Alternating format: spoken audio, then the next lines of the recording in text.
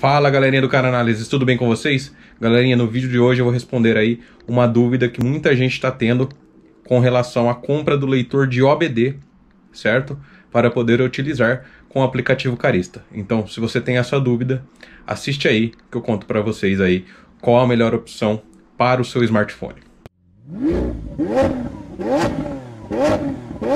Bom, galera, antes de mais nada aí, como sempre, deixe o seu like, se inscreva no canal e ative o sininho. Deixe um comentário aí do que você achou desse vídeo, se foi útil para você. E o que eu gostaria de dizer, pessoal, tem muita gente aí que está entrando em contato comigo, falando que adquiriu o leitor de OBD e quando o leitor chegou, não está funcionando. Algumas considerações para se fazer. Primeiro, se o leitor for pirata, não vai funcionar. Por isso que eu forneci um link para vocês comprarem diretamente do, da fabricante, na China.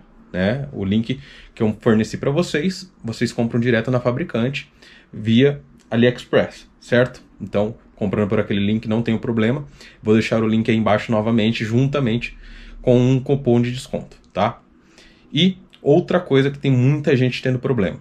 Existem três versões a versão Bluetooth 3.0, a 4.0 e a versão Wi-Fi. Vou mostrar aqui no site para vocês, né? Tô com o celular aqui em mãos e vou mostrar aí as opções que existem e qual vocês devem comprar de acordo com o smartphone de vocês, certo, pessoal? Bom, pessoal, tô com a... Bom, pessoal, estou com o aplicativo do AliExpress aqui aberto, né? É o mesmo que está no link aí.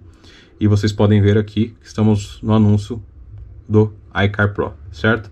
O preço varia bastante, de 70 a 128 reais, dependendo da versão e o local onde vocês estão pedindo o aparelho, tá? Então vamos aqui. Sempre escolho China, tá? Até porque ele nem tá dando mais opção de Espanha e Federação Russa, tá? E temos aqui BT 3.0, BT 4.0, esses BT significam Bluetooth, tá? E também Wi-Fi. Como vocês podem ver, a Wi-Fi é a mais cara de todos, por R$ 109,78, a 3.0 por R$ 70,38 e a 4.0 por R$ 105,32. A maioria do pessoal fala, pô, eu vou pagar de 70 para 109, eu vou pagar 70, né? Vou comprar 3.0. Entretanto, pessoal, tem muita gente tendo problema por conta disso. Assim, se vocês forem proprietários de iPhone, não adianta comprar a versão 3.0 e não adianta comprar a versão 4.0. As versões Bluetooth não funcionam com iOS, com iPhone. Então, se você é proprietário de iPhone, já compra a versão Wi-Fi para não ter dor de cabeça, tá? Não comprem a versão 3.0 nem a 4.0 porque tem muita gente tendo problema com isso, tá? Você já compra, fica esperando um bom tempo para depois chegar aqui e não funcionar, né? Então não adianta nada.